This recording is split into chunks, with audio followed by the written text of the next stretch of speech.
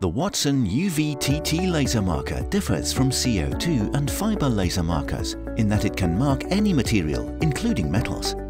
This video is about metals. We'll talk about the principle of laser marking these materials and show how this marker works on black steel, aluminium, stainless steel and copper, as well as how it does color marking and how it differs from fiber optic emitters. Hi, this is Virmer. Let's get started how laser metal marking works. Firstly, the UV spectrum is perfectly absorbed by most metals. Therefore, the Wattsan UV-TT can apply contrast images even on copper, despite its high reflectivity. Laser marking is essentially a change in the properties of a metal, changing its color or vaporizing the surface layer of the metal. These methods can be used to apply contrasting, detailed and durable images to different types of metal. The marking cannot be felt with the fingers because the UV laser does not exceed the ablation threshold, i.e. it does not penetrate deep into the material, unlike a fiber laser, which has sufficient power to engrave deep.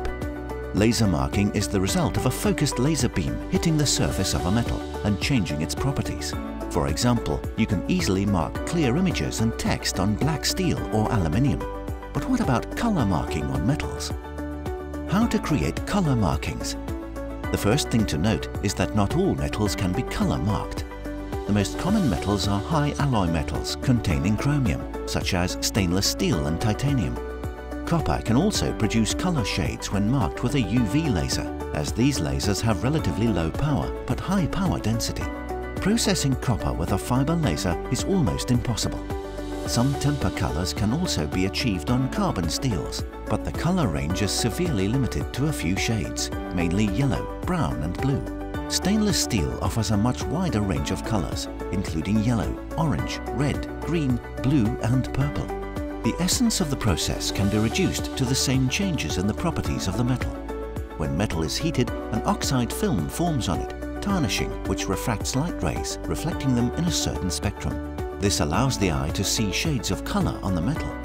Depending on the heating temperature, the thickness of this oxide film changes, and so does the color.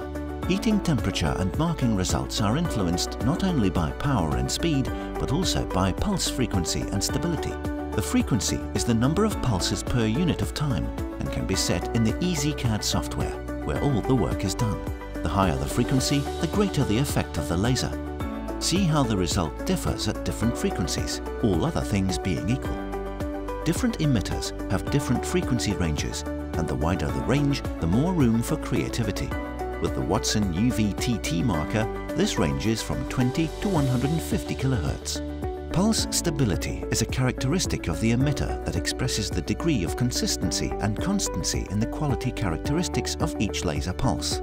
The JPT ultraviolet transmitter has a high pulse stability, less than 3% RMS at 60 kHz, which has a positive effect on the accuracy, uniformity and reproducibility of results.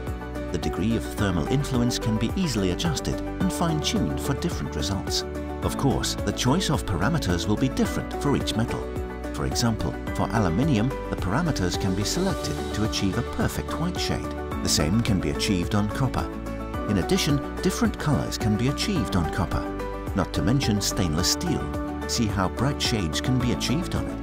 The Wattsan UV-TT has an operating speed of up to 7,000 mm per second and a laser source life of 100,000 hours. That's more than 11 years of continuous operation. If you'd like to learn more about this model, you can view the overview on our channel or sign up for an online demo. You can also visit our showroom in the Netherlands and ask our managers any questions you may have in person. We offer delivery and commissioning of the equipment and, of course, a warranty. Our engineers can provide training for you or your staff. If you have any questions, please feel free to leave them in the comments or contact us in any other way that suits you. See you in the new videos.